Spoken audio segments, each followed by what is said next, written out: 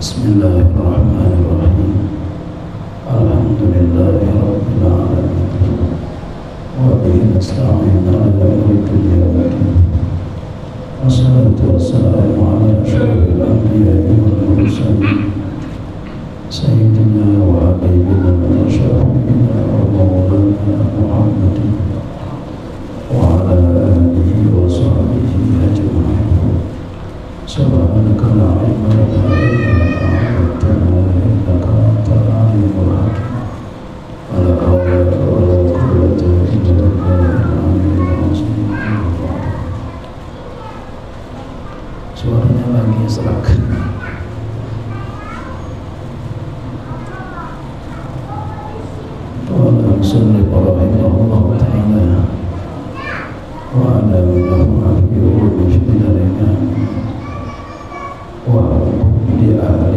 الدين رد سلامه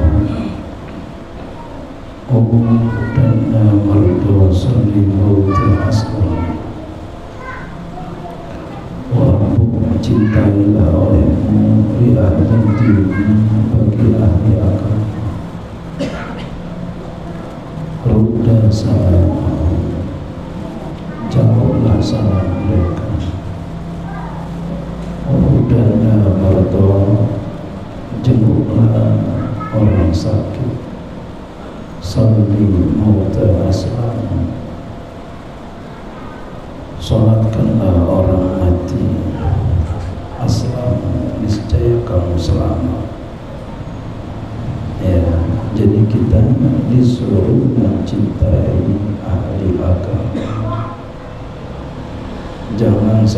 kita benci sama ahli agama.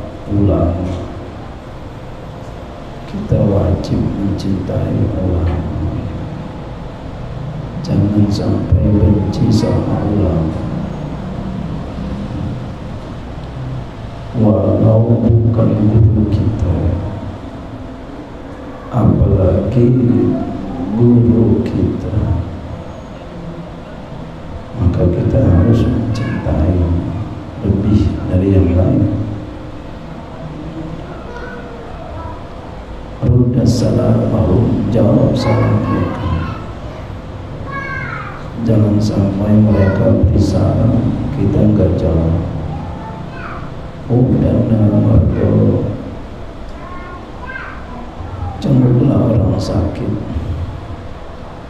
Yang kita kenal Yang dekat sama kita Yang pantas kita jenguk kalau kita enggak jenguk kita kurang pantas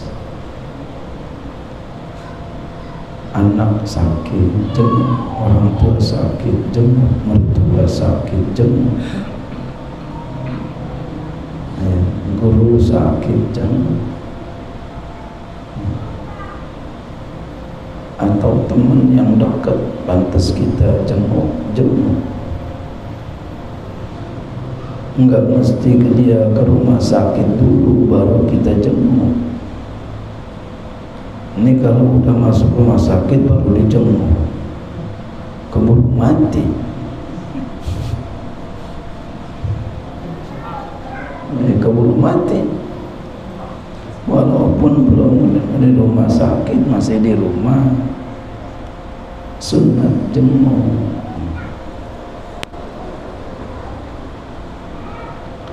Salli mauta Salatkanlah orang mati Kalau kita sehat kada ada waktu kita salatin Ada di depan rumah kita musola masjid. Lagi nyolatin orang meninggal Jangan sampai enggak kita solatin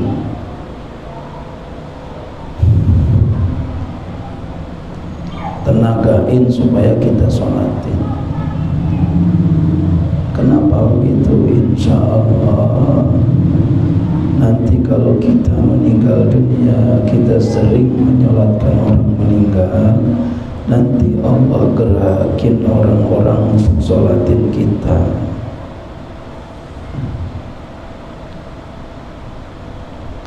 Gitu.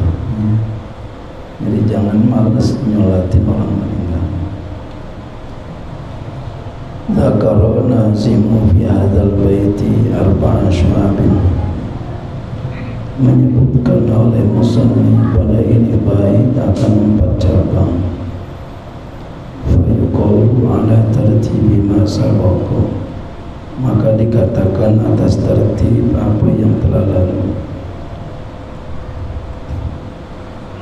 Wa syu'batul hadiyatu wasitu cabang iman yang ke 61 hubbu ahli dini cinta kepada ahli agama. Cinta jangan sampai benci. Ini adalah salah satu syarat keturunan kita jadi ahli agama. Kalau kita cinta sama ahli agama insya Allah ntar keturunan kita ada yang jadi ahli agama. Tapi kalau kita benci sama ahli agama sama ustaz sama kiai sama apa eh apalagi kata saya jangan ngimpi kita punya keturunan ulama. Kenapa? Karena kekasih-kekasihnya Allah kita benci. Jangan sampai berbeda boleh. Berbeda pendapat boleh. Yang kagak boleh itu mencela. Menghina. Merendahkan orang. Itu nggak boleh. Ya, kalau berbeda pendapat boleh. Jangan berbeda orang tua. Satu orang tua aja berbeda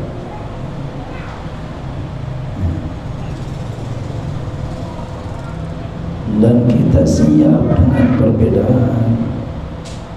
Jangan sampai ada orang berbeda sama kita kita salahin. Kita bilang kagak ngaji. Jangan. Nggak boleh begitu.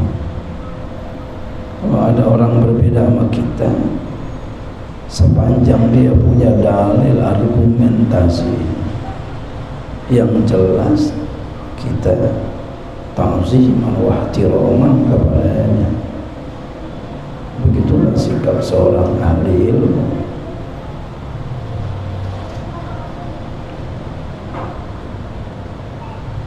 Seperti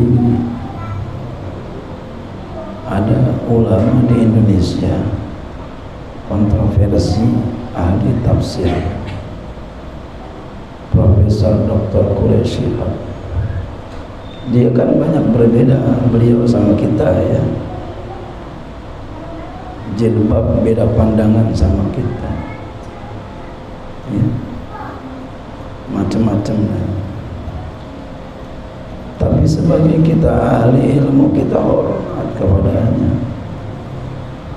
Itu pendapat beliau. Dan beliau punya argumentasi ya silakan.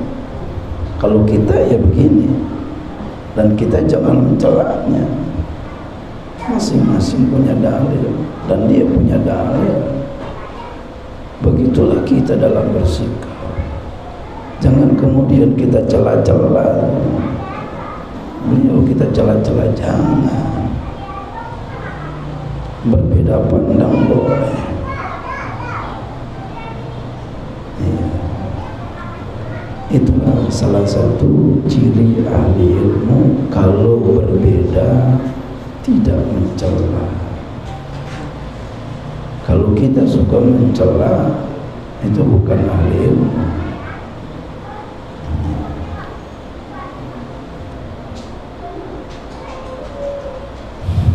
Ya, saya sama beliau ya banyak berbeda. Tapi kita hormat sampai aneh itu pak. Saking saya saya berbeda banyak berbeda. Tapi saya hormat kepadanya. Sampai saya ngimpi ketemu Quraisy. Itu kan gimana gitu? Saking apa? Saking saya menghormati bukan nama beliau aja sama yang lain pun saya begitu. Kalau berbeda pandang ya kita hormat. Berbeda tetap berbeda. Tapi bagaimana kita memahami perbedaan itu dengan baik? Siap menerima. Ini enggak semua orang mampu. Pengennya kita orang ikut sama kita semua. Enggak bisa. Kalau murid kita iya murid yang bagus ikut dulu semuanya tapi kalau orang lain enggak bisa. Imam Malik rahimahullah taala diminta oleh raja ketika itu pada kitabnya Al-Muwatta yang sangat monumental terkenal. Minta kepada Imam Malik agar supaya orang semua fikirnya sama. Tidak ada yang berbeda. Apa kata Imam Malik? Aku tidak bisa. Aku nggak bisa menyamakan semua orang pendapat sama denganku. Inilah ahli ilmu. Tidak mau memaksa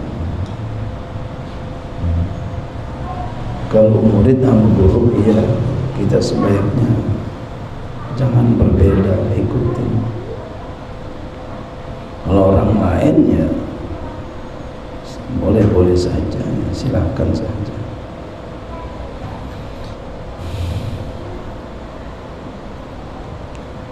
Man ay yuzahzaha anin nari wa yadkhul al jannata falta'ti maniyatu siapa saja yang suka bahwa dia itu dikeluarkan dari api neraka dan masuk ke dalam surga maka hendaklah datang kepadanya kematiannya. Wa huwa yashhadu an la ilaha illallah wa anna muhammadar rasulullah. Hendaklah dia bersaksi bahwa tidak ada Tuhan kecuali Allah dan Muhammad adalah Nabi Muhammad adalah Rasulullah sallallahu alaihi wasallam. Artinya apa? Orang kalau meninggal dunia diakhiri dengan kalimat la ilaha illallah dakhala jannah.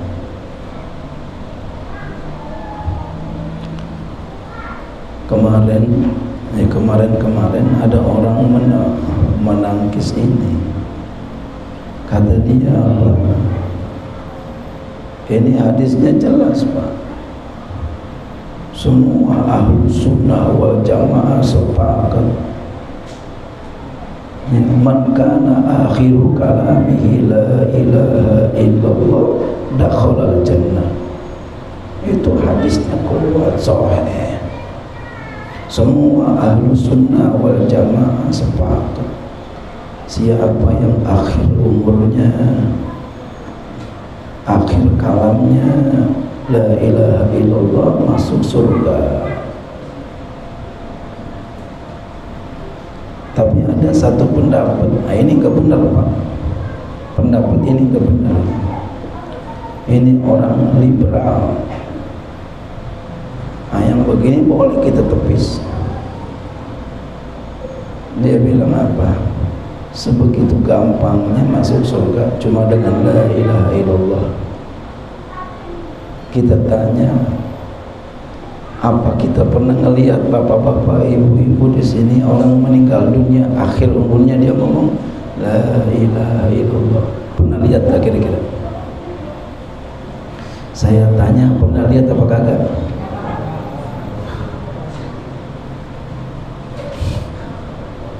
Menandakan susah. Enggak sembarangan orang. Akhir umurnya la ilaha illallah. Kan di TV ada sinetron itu mah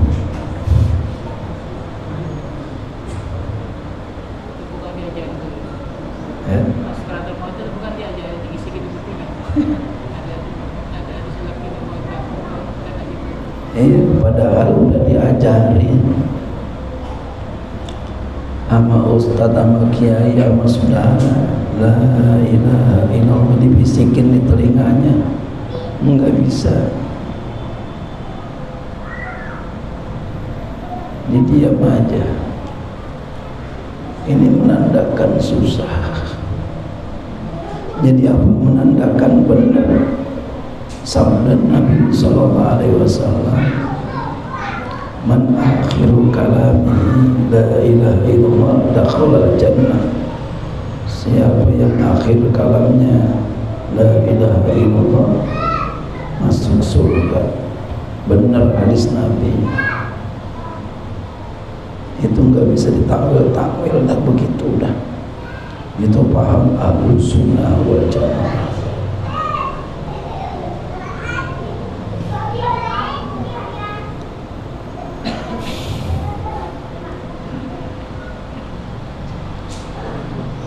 وَلْيَأْتِ إِلَى النَّاسِ مَا يُحِبُّ أَنْ يُؤْتَ إِلَيْهِ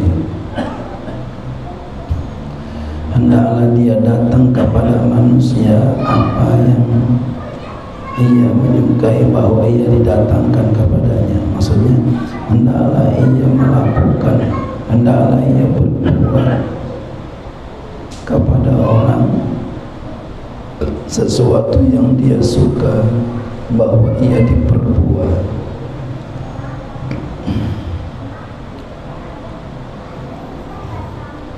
Jadi kalau kita ingin berbuat sesuatu kepada orang Pikirin kira-kira kita senang apa kagak.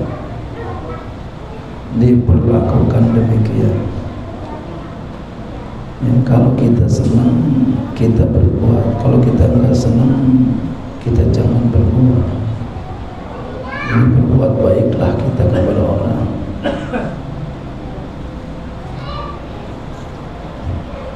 wa an Anas anin Nabi dari Anas dari Nabi sallallahu alaihi wasallam. Annahu qala bahwasanya beliau berkata aksiru minal ma'arifi minal mu'minin. Perbanyak olehmu daripada teman kenalan-kenalan daripada orang-orang mukmin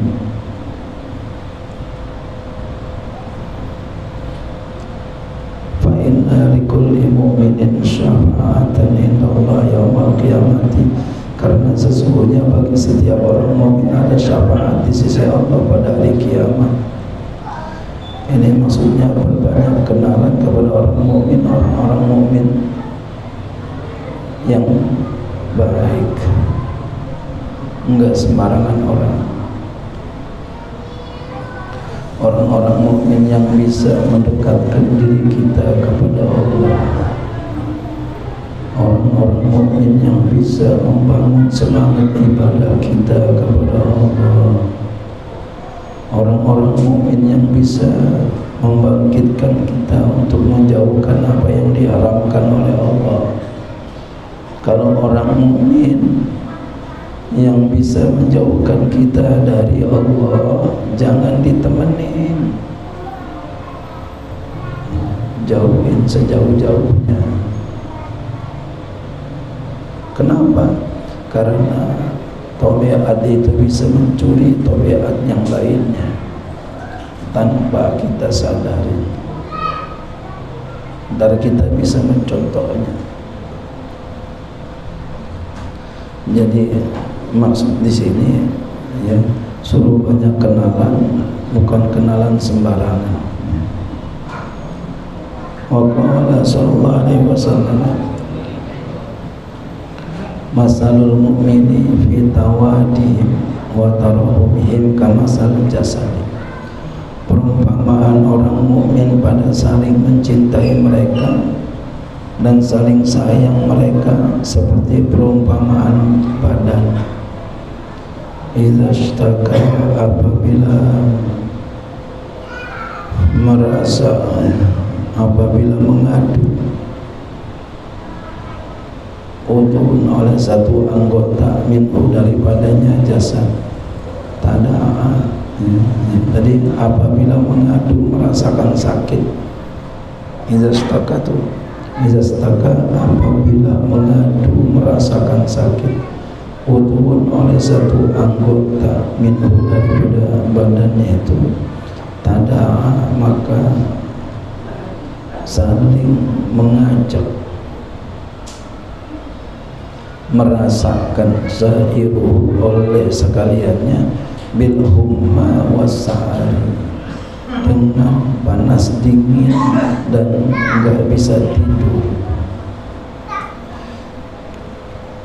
Jadi perumpamaan orang mukmin dalam saling mencinta dan saling sayang seperti badan kita apabila ada salah satu anggota badan kita yang merasakan sakit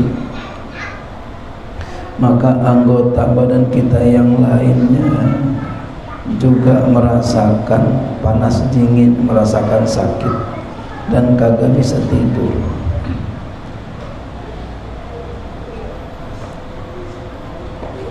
Orang-orang mukmin kayak begitu juga sama. Dan begitu kita semestinya sesama muslim, sesama.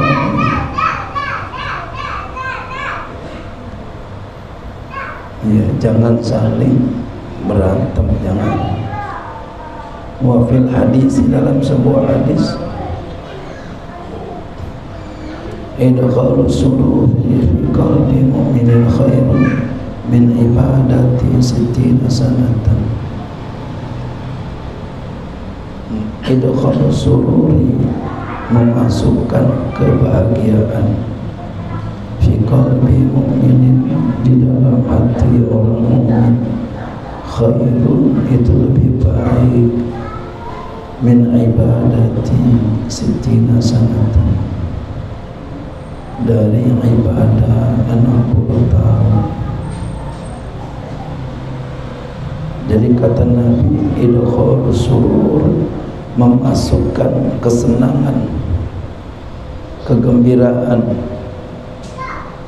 buat senang fi qalbi mu'minin dalam hati orang mukmin khairun lebih baik. Min ibadati sittina sana dari ibadah 60 tahun. Jadi usahakan kita bisa membuat orang jadi senang jangan buat orang jadi menangis. Buat orang jadi gembira. Bantuin. Orang minta bantuin bantuin. Oh iya iya ayo ayo ayo tenang tenang tenang tenang. Jangan nangis jangan nangis. Ada ada apa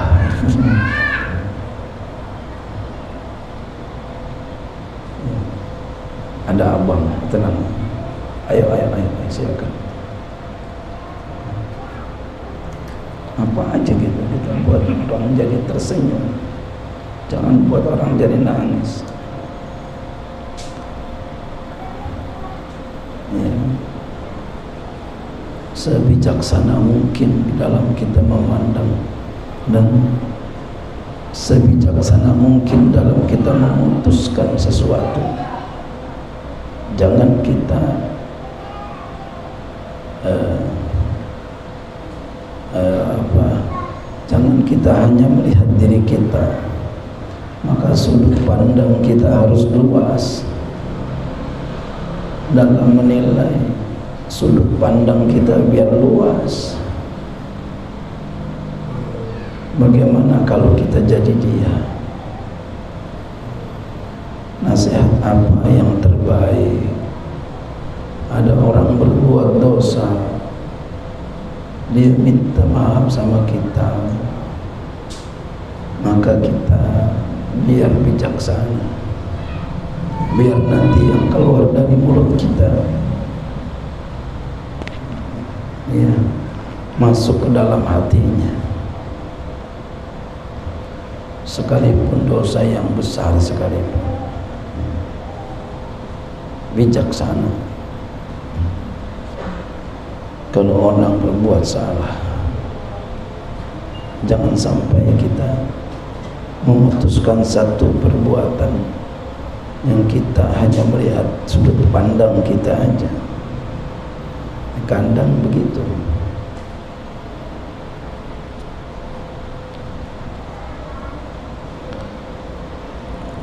Dulu ada seorang mahasiswa. Dia nilainya jelek ada sesuatu dia lapor kepada dosennya. Pak dosen mohon maaf ini begini begini begini begini. Diadukan kepada dosennya. Karena ini Pak ini, ini. kata dosennya enggak udah. Gimana? Dosennya enggak nerima kata mahasiswa ini nanti kalau gue jadi dosen gue kagak mau kayak begini.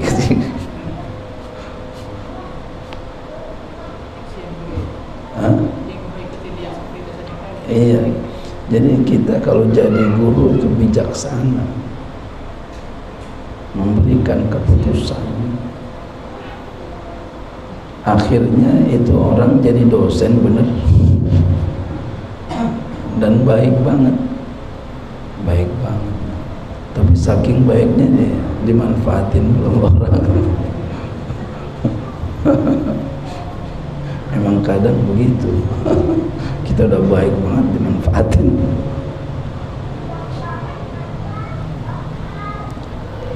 Tapi jangan berhenti dari berbuat baik.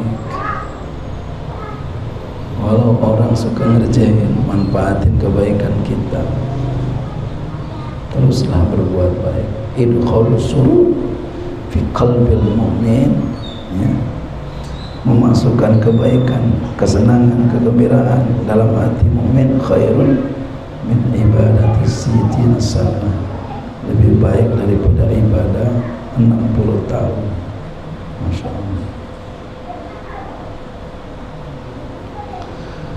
Oh yang bagi dan seyogianya ayazida fi tawkiri man dalla hayatu wa siyahu ala umwi ala umwi manzilati.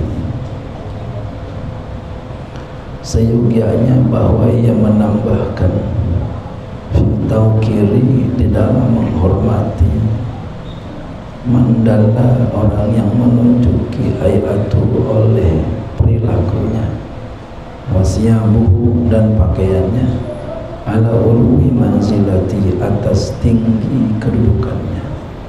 Jadi kalau ada orang pakaiannya pakaian mulia emang dia orang mulia kita hormati. Sikapnya mulia kita hormatin apalagi dia orang mulia ulama hormati.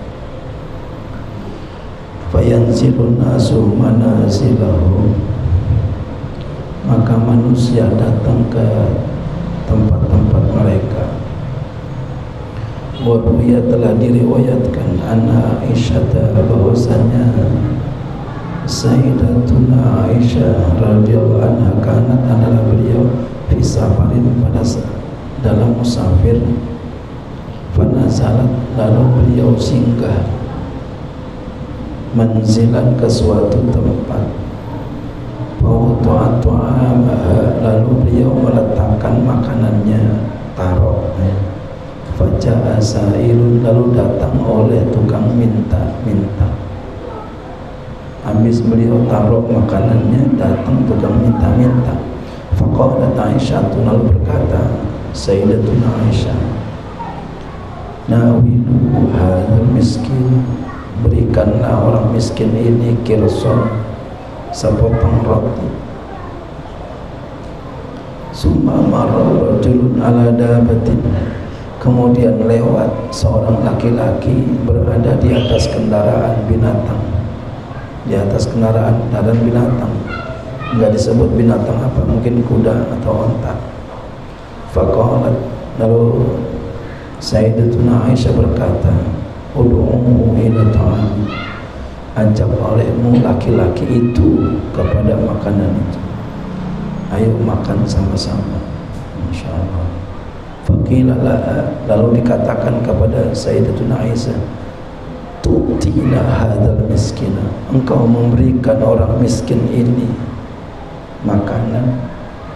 Wa dan kau ajak hadzal ghaniya akan orang kaya ini jadi orang miskin diajak makan orang kaya juga diajak makan. Kayak pondok pesantren al isra ya, yang kaya gratis yang miskin gratis. Semuanya boleh. Faqalat berkata Sayyidatuna Aisyah Inna Allah Ta'ala Qad anzalun nasa manazilahum Sesungguhnya Allah Ta'ala sungguh telah menurunkan mendatangkan atau menempatkan manusia di tempat-tempat mereka fala buddha lana maka enggak boleh enggak bagi kami min an ni sepertinya ada yang janggal an ya. bukan tak ya. Jadi fala buddha lana min an nunzilahu tilkal manazil enaknya begitu ganti taknya ganti hmm. ini kalau kita ya, paham nahu enggak enak ya. soalnya tadi dikatakan fala buddha lana maka enggak boleh enggak bagi kami kami apa gitu ya. Min an nun anzala nunzilu nunzilahu. Tilkal manasilah maka enggak boleh enggak bagi kami daripada bahwa kami menempatkan mereka di tempat-tempat mereka itu. Fadzal miskin maka ini orang miskin ya Allah bikirsin ridha dengan sepotong roti wayakba'u alaina dan sangat tercela alaina atas kami. An-nu'tiya adal qaniya ala hadhil ayati kirsan bahwa kami berikan orang kaya ini atas ya, ini perilaku kirsan akan sepotong roti. Jadi diberi yang lebih bagus lagi orang kaya sesuai dengan ya keadaannya. Ya sampai sini dulu. Bahwa ibu sekalian ya. Suaranya habis. Satu kita baca lihat satu kita